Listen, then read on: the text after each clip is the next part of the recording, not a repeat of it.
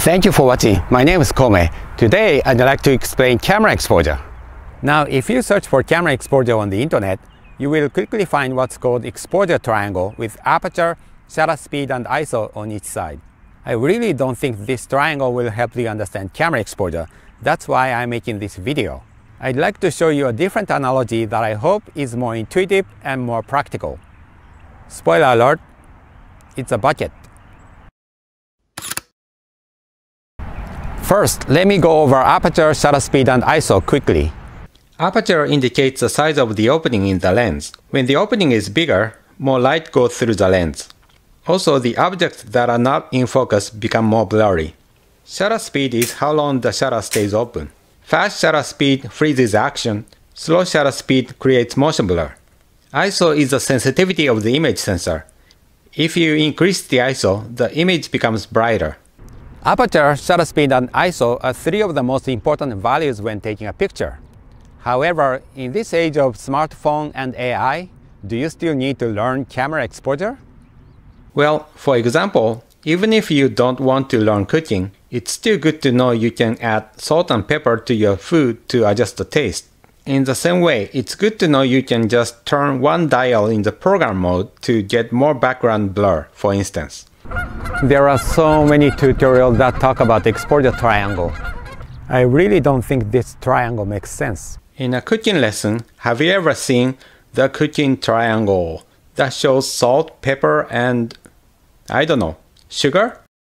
The triangle can only show balance, but aperture, shutter speed, and ISO are three independent parameters you can choose freely. Let me introduce a totally different analogy for camera exposure. If you have seen a square wood cup for Japanese sake called masu, that's what I have in mind. Instead of sake, we are scooping light in the air. Let me call it the exposure bucket. The amount of light captured by the image sensor is aperture area, which is the area of the opening in the lens, times shutter speed times ISO.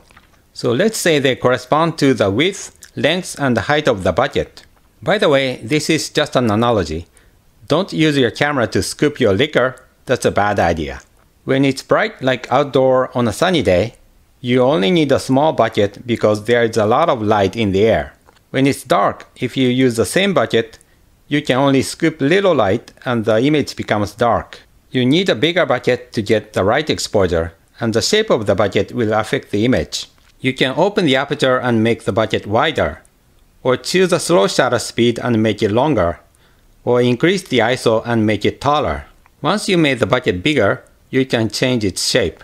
You can keep the same volume by changing two parameters at the same time. For instance, you can double the aperture area while cutting the shutter speed by half. In short, wider bucket, wider aperture. Longer bucket, longer shutter speed. Taller bucket, higher ISO. So far, I've been avoiding using numbers on purpose because I understand they look like math and intimidating. I will focus on the numbers you actually see in the camera settings. Let's start with ISO. ISO is the sensitivity of the image sensor. Let me simplify and say ISO 100 is the basic setting that gives you the best image quality. If you change it to ISO 200, the image becomes twice as bright. But that's only when you are in the manual mode. Otherwise, the camera will change the aperture and shutter speed to compensate.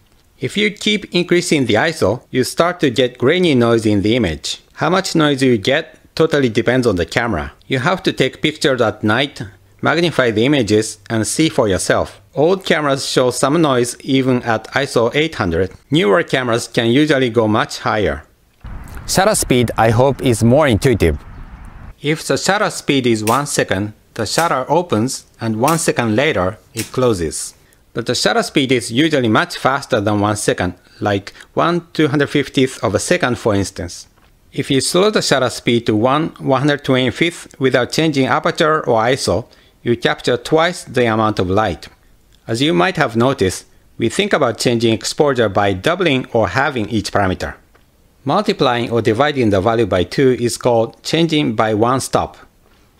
4 times is 2 stops, 8 times is 3 stops, and so on. Here are some of the shutter speeds you commonly see in the camera. If you are a software engineer, you will notice these numbers are close to the powers of 2. Every time you go left, you increase the shutter speed by one stop. Here are the typical ISO values.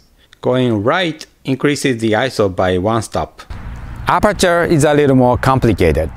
In the lens, there are little blades that open and close to adjust the amount of light that goes through. Aperture, or what's called the f number, corresponds to the diameter of the opening. On most lenses, you see a marking like 1 to 2. 2 is the aperture or f number when the blades are fully open.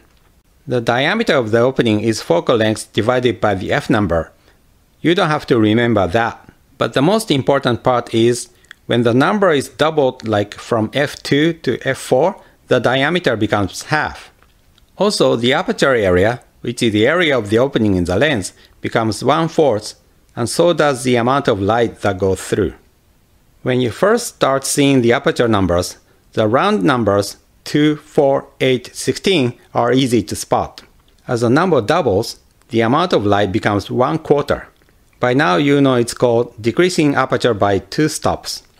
So what are you supposed to do if you want to reduce the amount of light by half?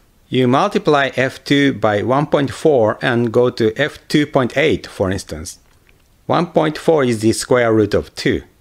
Each of these values is 1.4 times bigger than the previous one. Now I can explain using examples with actual numbers. Sunny day. You only need a small bucket with narrow aperture at f16, fast shutter speed 250, and low ISO at 100 for instance. The image is sharp from near to far with no motion blur. Let's say it's 16 times darker on a cloudy day and you are shooting birds by the lake.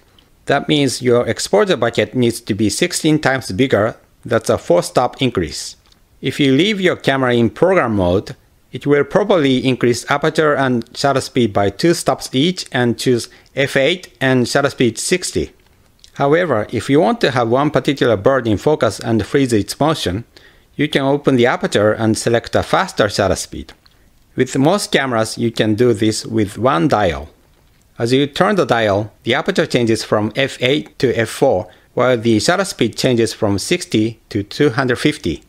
As you get to f4, the area in focus, also known as depth of field, becomes narrow and some birds in the background become blurry. This blur is called bokeh. The original Japanese word is pronounced bokeh. It rhymes with sake and it goes with my theme. If you want to capture all the birds in focus, then you turn the dial the other way. The aperture closes down and the depth of field becomes deeper. The shutter speed becomes slower at the same time. By the way, if you start paying attention to the shutter sound, you will notice when the shutter speed is too slow. If you want to get all the birds in focus without motion blur, then you have to increase the ISO. Increasing the ISO to 1600 will give you narrow aperture and fast shutter speed at the cost of possibly having a little noise in the image. If you like this video, please click on like and subscribe. If I get a good response, Maybe I will create more videos on camera exposure and create a playlist called Exposure Bucket List. Thank you and happy shooting!